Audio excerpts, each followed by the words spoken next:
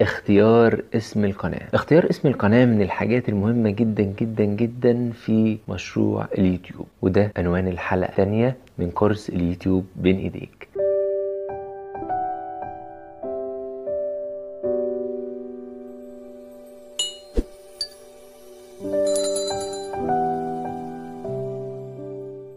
ببساطة شديدة لما نيجي نختار اسم للقناة بتاعتنا نتريث شوية شويتين تلاتة. إحنا مش أي اسم يجي على بالنا كده نروح حاطينه. لا إحنا عايزين نعمل اسم يكون علامة الناس تفتكرنا بيها دلوقتي وبعدين وبعدين. يبقى علامة كده زي قناة هل تعلم مثلا. ما شاء الله بقت حاجة قوية جدا. زي مثلا إن حضرتك أو حضرتك يكون اسم القناة باسم حضرتك أو اسم حضرتك ببساطة شديدة زي شادي سرور زي ناس كتيرة قوي قوي قوي أساميها معلمة زي أحمد يونس مثلا اللي هو الشهير برعب أحمد يونس. فأتمنى إن أنتم قبل ما تختاروا اسم القناة تتريثوا شويتين تلاتة. كمان تعملوا search كويس جدا أو تعملوا بحث كويس جدا جدا جدا علشان الأسامي المكررة كتير جدا جدا جدا. فطبعا لما حد يجي يعمل search عن فلان الفلاني أو اسم فلان الفلاني يلاقي يجي 3 4 10 قنوات ولا حاجة. لا أنتوا تعملوا بحث كويس جدا جدا وتتأكدوا إن مفيش في المنصات اليوتيوب مثلا والفيسبوك والحاجات دي حد بالاسم ده. هتتعبوا شوية عشان تختاروا الاسم بس مفيش مشكلة بس كل تعب بيجي وراه فايدة. يعني لازم الاسم ما يبقاش حد شبهه ولا حد شكله ولا الكلام ده. وفي ناس بقى بتعمل حاجات لذيذة كده يعني مثلا بيكتب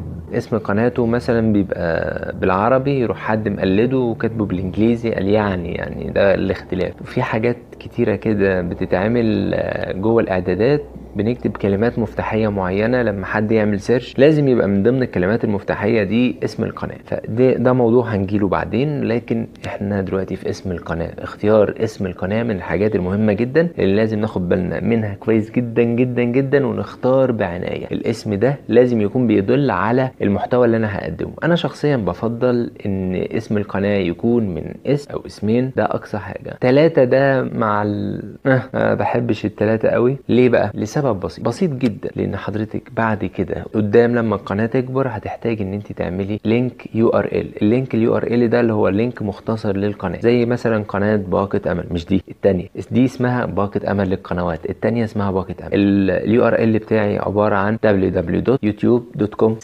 باقة أمل. فطبعا لما يبقى اسم القناة بتاع حضرتك مكون من أربع أسامي هتضطري غصب عنك إن أنت تختصريه لأن الاسم هيبقى طويل جدا جدا في اختصار ال URL. دي حاجة على جنب. ولكن مش معنى كده إن الأسامي الكتيرة أو الكبيرة أو أو أو اللي مكونه من أربع وخمس كلمات مش شغالة ومش ماشية. لا بالعكس في ناس بسم الله ما شاء الله يعني منطلقة وناجحة كمان بالأسامي دي. فأنا أتمنى إن أنتم وأنتم بتختاروا اسم القناة تختاروا اسم منفرد مفيش حد زيه تدوروا كويس قبل ما تختاروا اسم القنوات بتاعتكم. لو قنواتكم صغيرة وتقدروا إن أنتم تغيروا أسامي القنوات لأسامي أقل وأصغر يبقى ممتاز جدا جدا جدا جدا. وتبتدوا بقى تبنوا على الاسم ده ان أنتوا تكبروه وتخلوه فعلا الناس يعلم معاها الاسم والناس تكركوا بالاسم ده. ده ده فلان بتاع قناة كذا كذا أو فلان بتاع قناة كذا كذا كذا أو قناة فلان بتاع قناة كذا. اتمنى ان أنتوا تاخدوا بالكم من النقطة دي ودي كانت الحلقة التانية من كورس اليوتيوب بين ايديك وانتظرونا في حلقة جديدة بإذن الله. كنت معاكم أحمد محمد عبد المنعم والسلام عليكم.